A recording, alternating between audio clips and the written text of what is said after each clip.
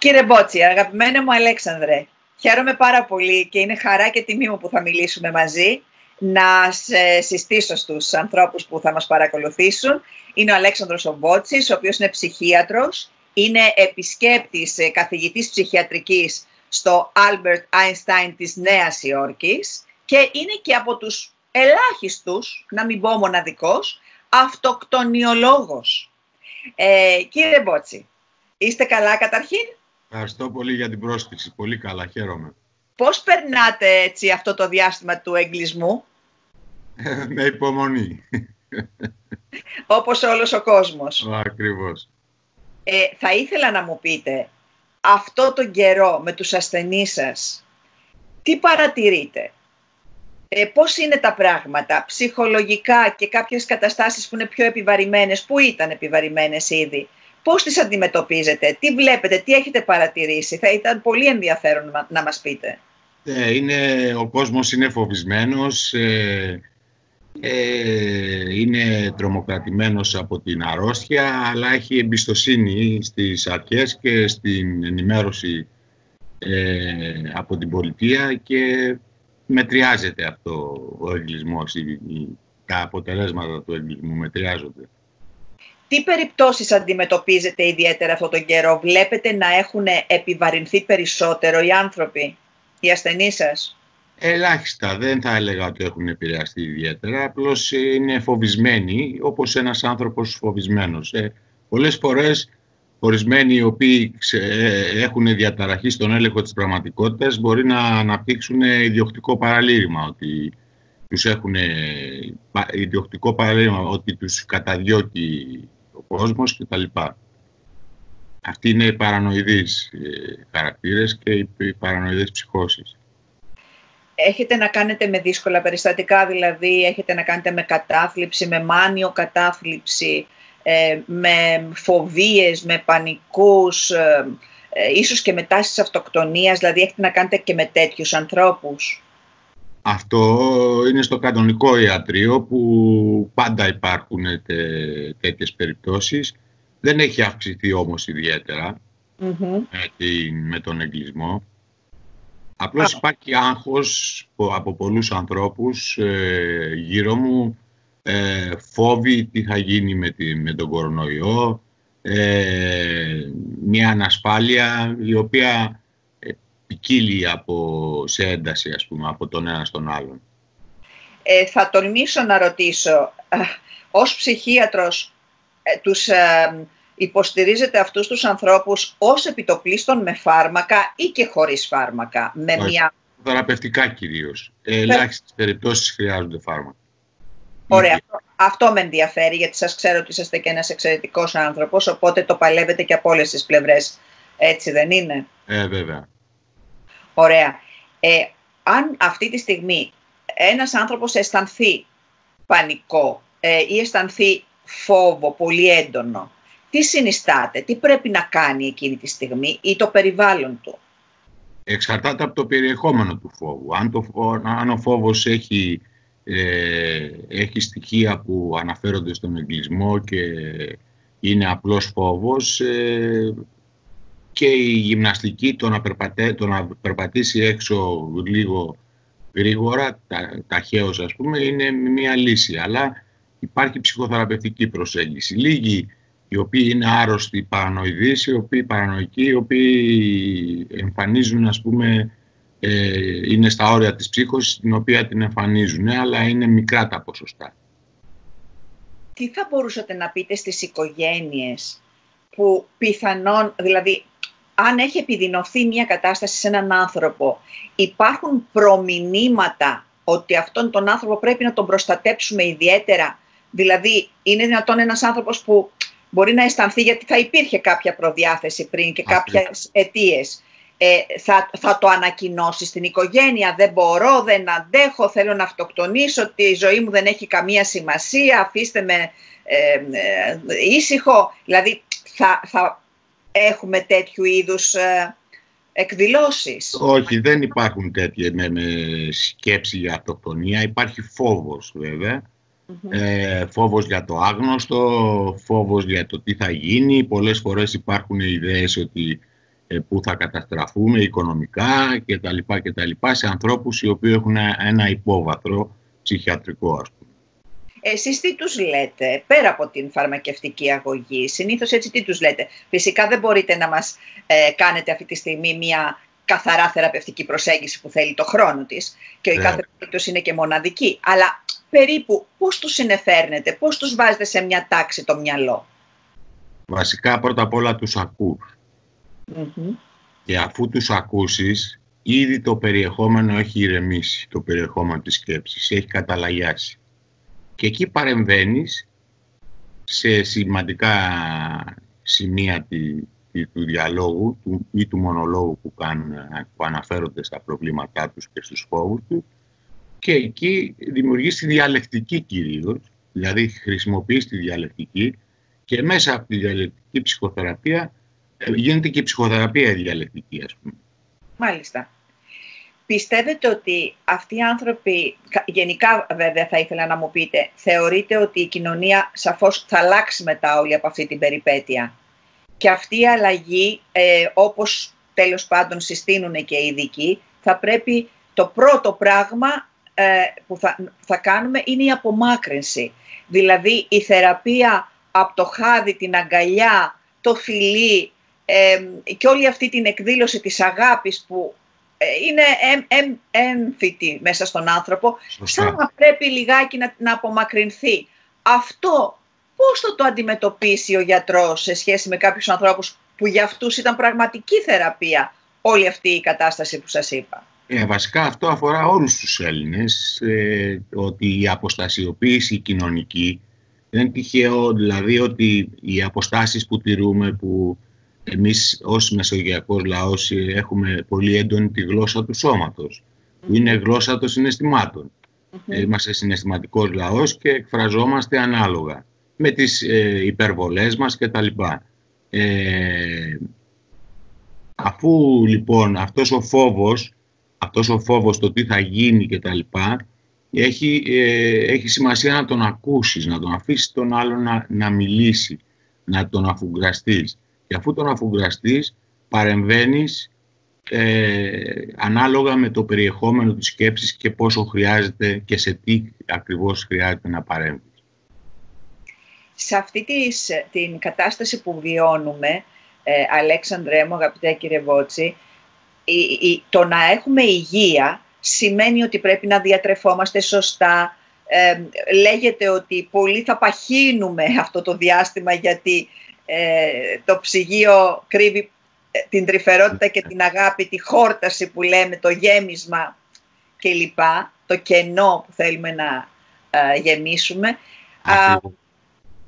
αυτό το, το συναντάτε στους ασθενείς σας αυτό το βεβαίως, βεβαίως υπάρχει. Υπάρχει ένα είδος θλίψης ή και κατάθλιψης ήπιο σε ανθρώπους ε, φυσιολογικούς με που δεν αντιμετωπίζουν ιδιαίτερα προβλήματα ψυχικής υγείας. Ε, και βέβαια ε, το ψυγείο για αυτούς είναι μια προσφυγή, καταφυγή. Ε, γιατί είναι το άγχος πείνας που δημιουργείται. Οπότε σε αυτή την περίπτωση ένας γιατρός, ένας ψυχίατρος, ένας ψυχολόγος, ένας θεραπευτής θα μπορούσε να βοηθήσει με κάποια σωστή καθοδήγηση, με Ίσως και ένας διατροφολόγος βέβαια, ο, κυριότερο, ε, ο, ο κυρίως υπεύθυνος ίσως. Ε, και ο ψυχίατρος και ο ψυχολόγος μπορεί να βοηθήσει αν ε, αυτά είναι στα ε, ελάχιστα αποκλίνοντα από το φυσιολογικό ας πούμε. Αν αυτά αποκλίνουν πολύ τότε είναι άλλη η αντιμετώπιση. Μπορεί να χρειαστεί εκτός από ψυχοθεραπεία και φάρμακα ως ψυχίατρος, τι είναι αυτό που, δεν ξέρω, υπάρχει κάτι που εσάς προσωπικά ε, σας, σας φοβίζει για το μέλλον; Δηλαδή η μετά κορονοϊό εποχή, δεν ξέρω, είναι κάτι που εσάς σας ε, προβληματίζει; Καθόλου θα έλεγα. Απλώς ότι δεν θα έχουμε καλή οικονομική, δεν θα έχουμε την, σαν χώρα, αυτό το, το, το ο χρόνος δεν θα έχει καλή οικονομική, πολλά οικονομικά έσοδα όπως είχε πάντα από τον τουρισμό. Ε, λόγω της μειωμένης πιθανών ε, διάρκειας του θέρους και των των διακοπών. Ε, προφανώς θα γεμίσουν και τα, τα διάφορα θέρετρα από Έλληνες περισσότερο, γι' αυτό και η κυβέρνηση έχει πει για τον εσωτερικό που θα καλύψει ένα μέρος των διαφυγόντων κερδών από τους ξενους Μπορείτε να μας πείτε έτσι λίγα πράγματα, να μας δώσετε κάποιες οδηγίες. Πώς μπορεί σήμερα ένας άνθρωπος να έχει ψυχική υγεία; Νομίζω ότι αν έχει ψυχική υγεία πριν, έχει ψυχική υγεία και μετά. Εξαρτάται από το πόσο εύθραυστη είναι η ψυχική του υγεία γενικά. Ε, αυτό είναι ένα στρες, ας πούμε, το οποίο αντιμετωπίζουμε όλοι μας. Εξαρτάται πώς το αντιμετωπίζει ο καθένας. Ε, υπάρχουν τρόποι οι οποίοι είναι φυσιολογικοί, όπως το μέσο άνθρωπο, και υπάρχουν, ε, υπάρχουν τρόποι οι οποίοι, ας πούμε, μας ε, βάζουν στο τρυπάκι της, ε, των φόβων, των φοβιών, των καταστροφολογικών, ας πούμε, φαντασιώσεων και γύρω από το οικονομικό outcome και εκεί είναι, ε, είναι διαταραγμένη η ψυχική υγεία, ήδη υπάρχει διαταραγμένη ψυχική υγεία χωρίς εκδηλώσεις, αλλά εκεί βγαίνει από τα όρια με διάφορα παραλήρημα που είναι σπάνιο βέβαια. Ναι. Τα στοιχεία, τα στατιστικά, κύριε Μπότση, δείχνουν ή δείχνανε μέχρι τώρα ότι ε, πάρα πολλοί κόσμος έπαιρνε ψυχοφάρμακα θεωρείτε ότι έχουν βάση και δεύτερον νομίζετε ότι όλοι αυτοί που παίρνουν ή που, που παίρνανε και παίρνουν ψυχοφάρμακα όλοι αυτοί τα χρειάζονται; Εξαρτάται αυτό. Εάν ε, υπάρχει μια χρόνια κατάσταση, προφανώς αυτοί οι άνθρωποι τα χρειάζονται και φυσικά μπορεί να υπάρξει και μια αύξηση αν, έχουν, αν έχει επιδεινωθεί η κατάστασή τους που πολλές φορές επιδεινώνεται. Αλλά εάν ας πούμε είναι στα πλαίσια του φυσιολογικού, ε, τότε δεν χρειάζονται φάρμακα. Η άσκηση είναι ένας τρόπος να χαλαρώσει κανένας και να εκτονώσει το άγχος του και το φόβο του. Όχι τη φοβία, το φόβο, το άγχος που δημιουργεί, το άγνωστο που δημιουργεί φόβους και φοβίες. Ε, αυτό εκτονώνεται με την άσκηση και βέβαια το καλύτερο είναι ένα ε, χλιαρό ντους, ας πούμε, διάρκειας μισής ώρας, τριών τετάρτων, που χαλαρώνει ας πούμε, τον άνθρωπο. Μάλιστα. Ωραία. Αυτό, ε, το διάβασμα επίσης δεν θα μπορούσε να βοηθήσει πάρα πολύ για όσους το αγαπούν. είναι ευκαιρία για διάβασμα τώρα. Και μάλιστα... Πολύ ίσως και βιβλία τα οποία να είναι ενθαρρυντικά και να είναι ίσως και ποίηση, λογοτεχνία που ε, φρένουν την καρδία. Δεν θα ήταν Οτιδήποτε πολύ... είδος διάβασμα, διαβα, μελέτης, ας πούμε, διαβάσματος, ε, αυτό βοηθάει γιατί φεύγει το μυαλό, πηγαίνει σε ταξιδεύει, ας πούμε, με, ε, το, το βιβλίο σε ταξιδεύει σε άλλα μέρη και φεύγει η σκέψη από, το, από τα γεγονότα που συμβαίνουν δεν ξέρω αν θέλετε κάτι άλλο να επισημάνετε για την εποχή που ζούμε ως ψυχίατρος. Θα το άκουγα με πολύ ενδιαφέρον. Εγώ νομίζω ότι πηγαίνουμε καλά. Ε, απλώς θα υπάρχει μια οικονομική επιβάρυνση γενικότερα. Δυσχέρεια, ναι. Ναι, δυσχέρεια στο ελληνικό κράτος, γιατί ο τουρισμός είναι, οι παροχές υπηρεσιών είναι ε, και υπάρχουν άνθρωποι πολύ καταλληλότεροι από μένα να, το, να μιλήσουν γι' αυτό, είναι το κύριο έσοδο της χώρας μας και πιθανόν να υπάρξουν κάποια οικονομικές, κάποιες οικονομικές δυσκολίες για τον ερχόμενο, για το χρόνο που ζούμε, για το έτος το οποίο ζούμε και κατά τα άλλα νομίζω θα τη βγάλουμε πέρα, δεν υπάρχει περίπτωση. Ναι. Λέγεται, μια από εκεί θα τη βγάλουμε πέρα. Τη βγάλουμε. Η Ελλάδα ποτέ δεν πεθαίνει. Ε, κύριε Μπότση, κάτι τελευταίο. Α, λένε ότι ήταν αυτή η εποχή, αυτό το διάστημα, αυτή, αυτό το μάθημα ζωής που, που πήραμε, που ήταν πρωτόγνωρο για όλους μας, ότι ήταν μια ευκαιρία για ενδοσκόπηση. Εσείς από τους ανθρώπους που ε, έρχονται σε επαφή μαζί σας, είδατε κάτι τέτοιο, δηλαδή κάποιοι θέλησαν να τα βρουν λίγο περισσότερο με τον εαυτό τους. Μετά έχουμε, έχει υποθεί και το θέμα της ενδοοικογενειακής βίας που ε, μπορεί να έχει επιδεινωθεί αυτό το διάστημα. Ε, ε, τα, έχετε τέτοια περιστατικά, σας συμβαίνει; Βεβαίως, βεβαίως, βεβαίως. Ε, άλλωστε στις αυτοκτονίες και στη βία που είναι οι δύο όψεις του ίδιου νομίσματος έχω εξειδικευτεί. Ε, και η ενδοοικογενειακή βία είναι κάτι το οποίο πρέπει να προσέξουμε όλοι μας και βέβαια είναι κάτι που έχει αυξηθεί τώρα στις, στην περίοδο αυτή.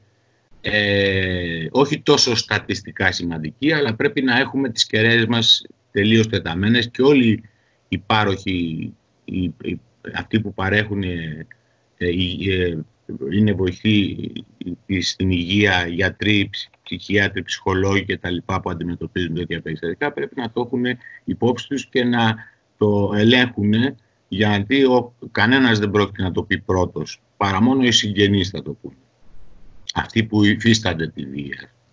Η ναι. βία είναι κάτι το οποίο κάτι το, η οποία είναι, ήδη υπάρχει σαν προδιάθεση στο άτομο που εκδηλώνει βία και απλώς τώρα ο ουδός, δηλαδή το σημείο στο οποίο πρέπει να αγχωθεί ο άλλος ή να ε, στρεσαριστεί είναι χαμηλότερος. Ο ουδός δηλαδή είναι χαμηλότερος από ό,τι ήταν σε νορμάλ καταστάσεις και εκδηλώνει ευκολότερα βία από ό,τι εκδήλωνε στο παρελθόν, σε, σε φυσιολογικές καταστάσεις.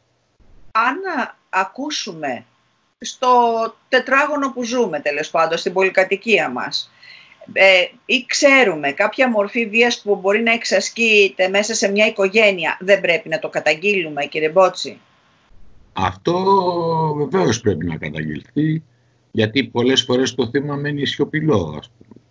Ε, άλλωστε υπάρχουν και οι διάφορες διαφημίσεις, η τηλεόρασης διαφημίσεις, η ενημέρωση ναι, ναι, ναι. για την ενδοοικογενειακή βία, για τα συναισθήματα που μπορεί να βιώνει κάποιος ότε στον εγκλισμό, να, να έχει συναισθήματα κατάθλιψης, όχι κατάθλιψης, συναισθήματα κατάθλιψης, άγχος για το άγνωστο, φόβο, Μονα, μοναξιά. Μοναξιά, ειδικά στους μοναχικούς ανθρώπους αυτούς που δεν έχουν οικογένεια. Η οικογένεια είναι ένα υποστηρικτικό περιβάλλον που μοιράζεσαι και αισθάνεσαι και ασφάλεια μέσα στην οικογένεια, αν η οικογένεια λειτουργεί φυσιολογικά.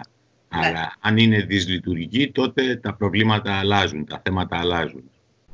Αν η οικογένεια είναι δυσλειτουργική, τότε, ε, τότε η, η, η εκδηλώσεις βίας ε, παρουσιάζονται και το άτομο χειροτερεύει. Είναι ένα, το άτομο που είναι επιρρεπές σε, αυτό το, σε αυτές τις καταστάσεις, στην να εκδηλώσει βία, τότε η, αν χρειαζόταν ε, ένα άγχος ή δυστροπία από τους άλλους ε, χαμηλή, τώρα είναι ψηλή για να εκδηλώσει αυτή τη βία. Τώρα με το παραμικρό μπορεί να εκδηλώσει βία. Γι' αυτό πρέπει να, να είναι κανένας πολύ προσεκτικός. Πολύ, προσεκτικός, σχεδόν αόρατος όπως είπε, άκουσα να πει κάποιος ε, ψυχολόγος, να μην προκαλεί δηλαδή καθόλου τον άνθρωπο ο οποίος είναι ναι. δίκαιος. Είναι ε, λεπτές ισορροπίες αυτές. Ναι, ναι, ναι, ναι. Και βέβαια οπωσδήποτε υπάρχουν ε, τα τηλέφωνα και οι δομές και οι ειδικοί που ε, να, να απευθυνθεί ε, με κάποιον τρόπο. Όμορφα κύριε Μπότση. Ωραία. Θέλω να σας ευχαριστήσω πολύ για αυτή μας ε, την κουβέντα. Εύχομαι όλα να πάνε καλά και θα πάνε καλά. Εγώ προσωπικά είμαι πολύ αισιόδοξη. Όλα θα πάνε καλά, όλα θα πάνε καλά. Έτσι. Και είμαστε και ένας ε, λαός που ε, είναι αλληλέγγυος και φροντίζουμε να στηρίξουμε ο ένας τον άλλον και στα δύσκολα πολύ περισσότερο. Και είναι εποχή, που να, εποχή να την εκδηλώσουμε αυτή την αλληλεγγύη προς τον άλλον, προς τον άνθρωπο ο οποίος είναι φοβισμένος ή ας πούμε έχει επηρεαστεί από την κατάσταση που είναι λίγο θολή ας πούμε θα μπει. Ε, αυτό είναι κάτι το οποίο θα το ξεπεράσουμε όπως ξεπερνάμε και άλλες βαρύτερες καταστάσεις ε, με το καλύτερο δυνατό αποτέλεσμα. Να είστε καλά. Και εγώ σας ευχαριστώ κύριε Αντελιδάκη για την πρόσκλησή σας και εύχομαι όλα να πάνε καλά. Αμήν. Ευχαριστούμε. Ευχαριστώ πολύ.